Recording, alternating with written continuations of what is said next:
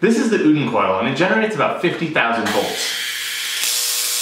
Notice the color of the lightning. Now check this out. This beaker is filled with carbon dioxide gas. Look at how the color changes when it goes from the nitrogen atmosphere into the carbon dioxide beaker. This is pretty cool. It means that lightning on other planets could look very different than lightning on ours.